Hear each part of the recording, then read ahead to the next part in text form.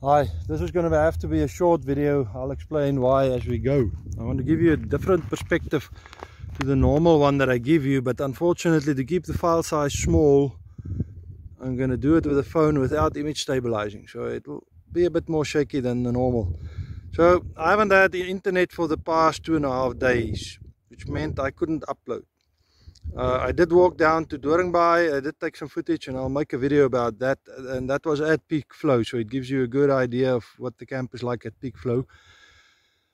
Uh, the dams have dropped down, the four major dams, Vaal, Bloemhof, Van der Kloof and Geriep has dropped down to, they're all of them between 105% uh, and 102% and their outflows have reduced. So we're at about 3000 cubic after the peak of 38 and we're now slowly dropping down. Upington is already down to 2000 and Prieska is down to 1400. So the peak flow is past, the flood is basically past and is now dropping down. However, uh, the weather forecast is a good reminder that we should keep in mind that the rain season hasn't passed yet.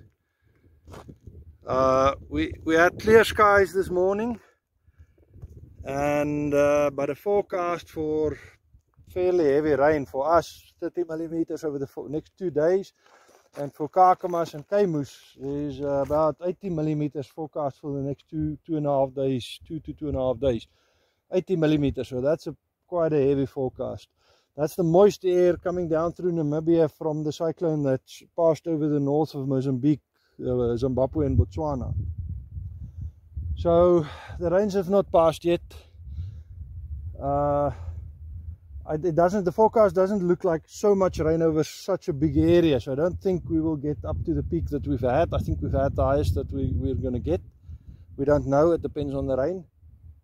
But that's the situation. So to keep the video short, I'll see you on the next one so that I can upload it with my telephone I have a one bar signal.